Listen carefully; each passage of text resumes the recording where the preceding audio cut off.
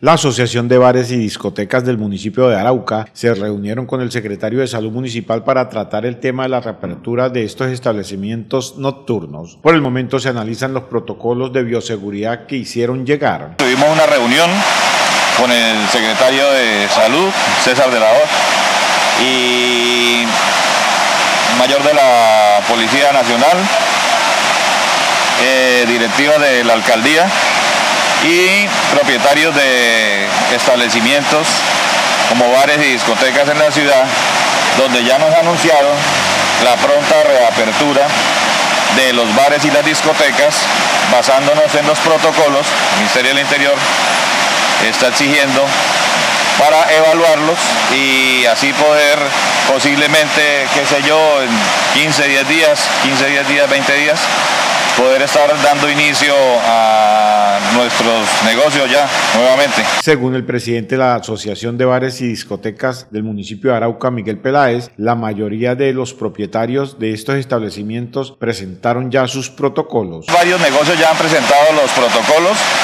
Eh, se han enviado a unos correos electrónicos donde la alcaldía los eh, ha expuesto para poder enviar esto los protocolos que están exigiendo para la, reapertura. Después de eso viene una visita de parte de la alcaldía eh, al sitio, ya como va a quedar, donde ellos dicen, sí, esto quedó bien, le falta aquí esto, ta, ta, ta, y ya pueden iniciar su proceso de abrir su establecimiento de comercio. La administración municipal se comprometió que al habilitar los bares y discotecas se desmontaría el toque de queda en el municipio capital. Pues sí es lo lógico, ¿no? O sea, ya yo pienso que lo del toque de queda ya se debe desmontar.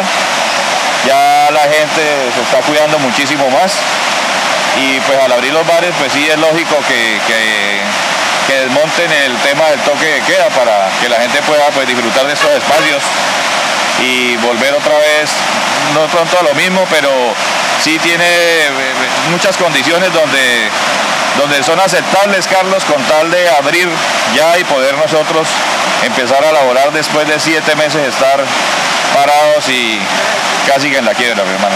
Los propietarios de los bares y discotecas esperan que el Ministerio del Interior autorice los protocolos de bioseguridad para reabrir nuevamente sus puertas.